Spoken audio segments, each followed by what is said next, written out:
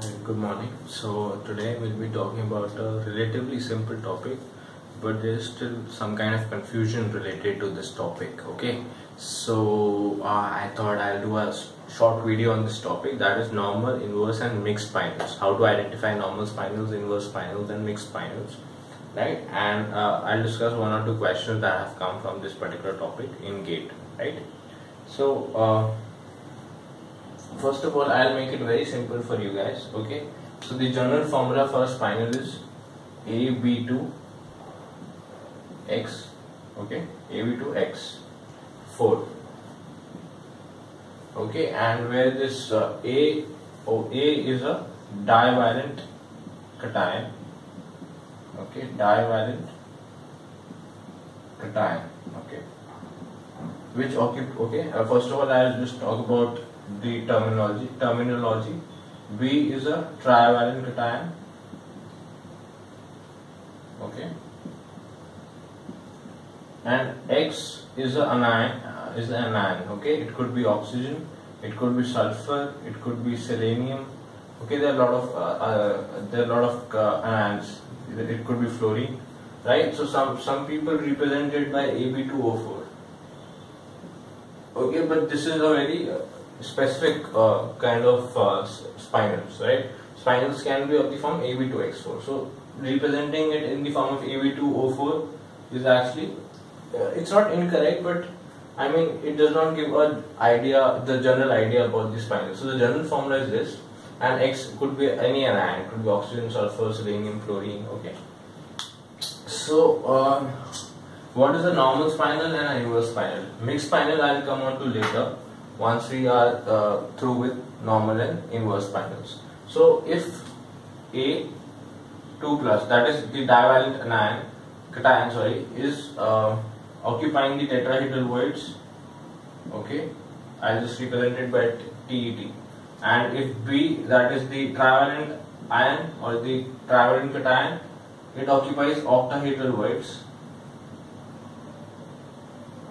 then it is normal spinel okay.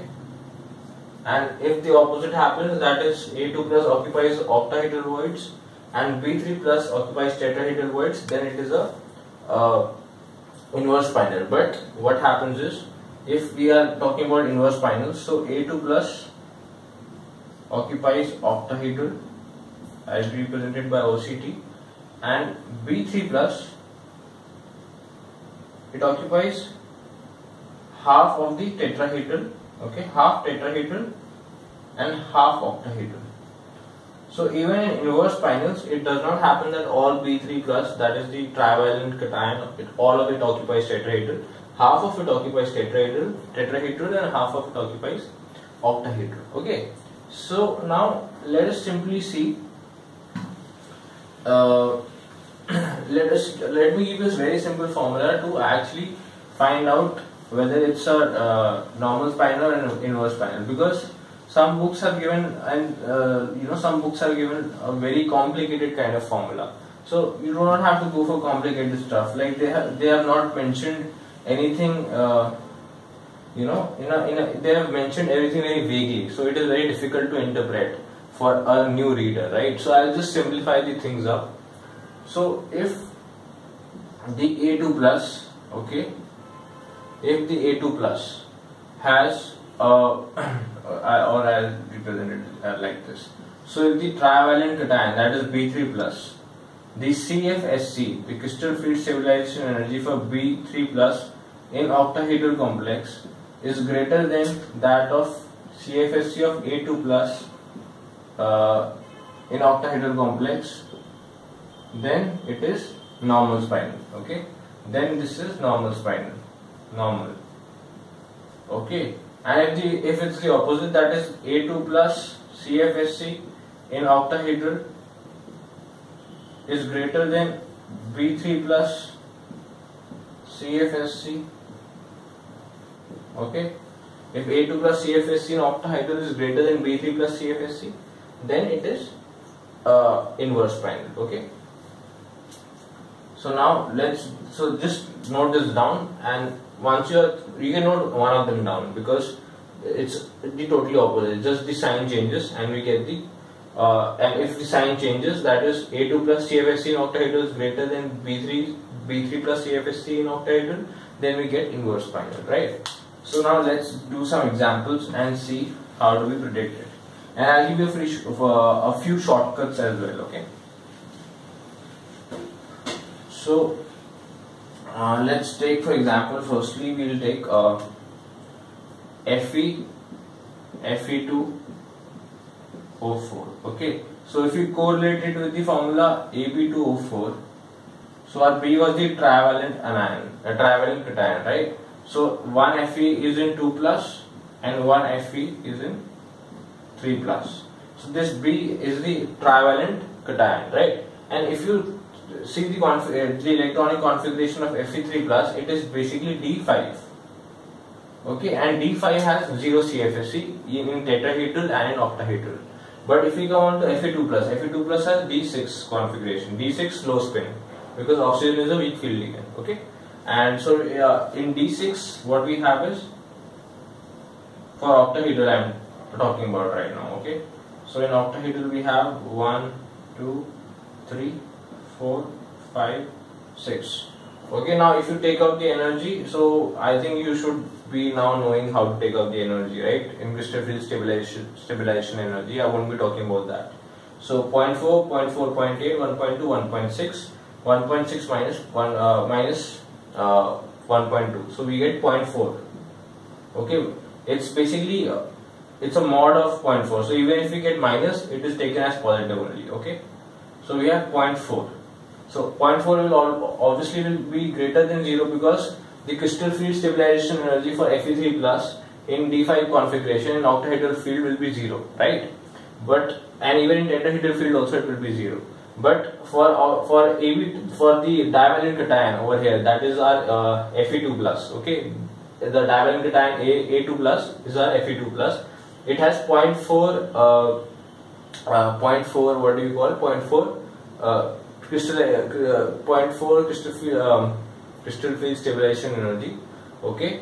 So it which is greater than 0 so that means the divalent cation has a greater crystal field stabilization energy in octahedral field than the trivalent cation so this will be inverse spinel so now we have its inverse. Okay? As simple as that. So now let's look at another example.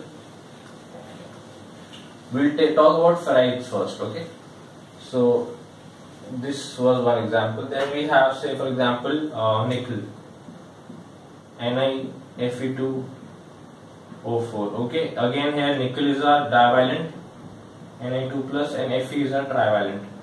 So same thing, uh, CFSC in octahedral field for Fe3 plus is zero. Okay, in octahedral, and for for nickel, if we calculate in octahedral, it's 1, 2, 3 low spinets. It is 4, 5, 6, 7. So 0 0.4, 0 0.8, 1.6, 2.4, 2.4 minus, uh, minus, uh, 1.2, so 1.2. 1.2 greater than 0, so again inverse spinel. Okay, so this it is this simple. I don't know what what all is written in books. Actually, I came up with this method on my own. Okay, and uh, I have not referred to any book or something and in books i don't know what all stuff is given you know. I they, i think they're complicating it. Uh, it's quite simple. I actually have solved with this with this method only that i have told you. And i till now i, I haven't got any answer incorrect okay? So anyway. So now i'll tell you a small trick okay? So for ferrites that is if i represent a molecule uh, uh sorry uh, uh, a, a complex if I rep represent it by A Fe2 O4 okay? So generally if it's nickel nickel 2 plus you know cobalt 2 plus or uh, nickel cobalt or you can take any other uh, even Fe2 plus right? So if our A in this case is anything but uh, is anything but these basically if it's nickel 2 plus cobalt 2 plus Fe2 plus it should have a crystal field stabilization energy greater than 0 in octahedral field. So all of these three metals uh, in this particular oxidation state have a greater CFSC uh, greater than 0 okay? If it's equal to 0 then it will be a normal spinel like for example in the case of Zn2 plus okay? So Zn2 plus is D10 configuration okay? So if we take the example of Zn Fe2 O4 okay so over here what do you see is Zn also has D10 configuration also. The crystal field stabilization energy for even Zn2 plus in octahedral field will be 0 right? So both are 0 so it will be so there will be no change. There first of all it will be a normal spinel but there is one more reason for it being a normal spinel now zn2 plus is much smaller than fe3 plus okay? If you if you see in the periodic table it is to the right hand side. It is to the uh, right hand side right so what is happening is as we go from left to right in the periodic table the size decreases. So zn is much smaller in size. So that is why it occupies the tetrahedral holes. Okay? Tetrahedral sites are smaller in size. Whereas Fe3 plus being larger in size it will occupy octahedral and we will get a normal spinel okay? We will get a normal spinel only now I'll tell you the relevance of this example because over here both the crystal field stabilization energy is zero so we are getting a normal spinel but if we take the case of Mn Fe2O4 okay if we take the case of Mn Fe2O4 eh, over here also the Fe3 Fe3 plus is in D5 configuration and Mn2 plus is also D5 configuration. That is, both of them have zero CFSC in octahedral field. But in this case, it is a mixed spine. It is a mixed spinel. And why is that? Because over here the size of Mn2 plus and Fe3 plus is comparable. Over here Zn2 plus is much much smaller in size than Fe3 plus, right? But over here manganese and iron there is only a difference of one atom one atomic number, right? So over here in this particular case, we have mixed spinel because the size is comparable. So any one of them can occupy the tetrahedral hole. So we get a mixed spinel in this case. Similarly, in the case of Mg, Fe2, O4. So over here again Fe3 plus D5 configuration, CFSC 0. Mg2 plus is a non-transition element. So whenever you come across a non-transition element, you have to take the CFSC to be 0. But over here also Mg2 plus and Fe3 plus have comparable size. So that is why you will have a mixed spinel in this case. So in these cases you will have a mixed spinel. When the CFSC is greater than, uh, for when the CFSC for the A, that is the divalent cation, it is greater than 0. In this particular case, then you will get a normal uh, inverse spinel. And only in the case of zinc ferrite will you get a normal spinel. Okay. So now these were some examples of ferrites. So now it's very simple. If you get a compound which is which is A 2 plus, uh, so which is not a um, I'm sorry, I'm little tired, so I'm, I'm not able to comprehend things pro properly. But I think you you guys will understand. So a divalent cation 2 plus that is right uh, will always be inverse spinel if the configuration is not D0, D5, D10 or a non-transition element. I'll repeat again, it will always be an inverse spinel.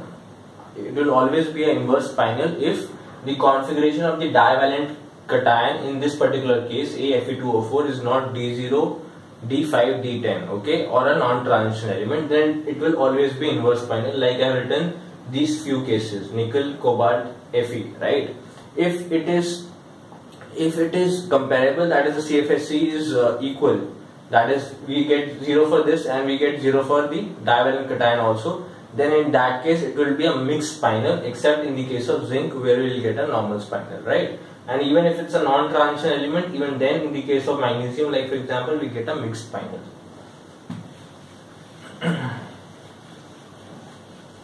now let's take the example of chromides okay so chromides are Cr2O4A okay so over here chromium is in plus 3 oxidation state right so if you take out the chromium uh, CFSC in octahedral field in plus 3